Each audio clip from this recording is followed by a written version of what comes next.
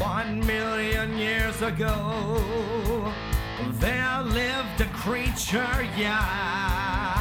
Was it ape or was it a man?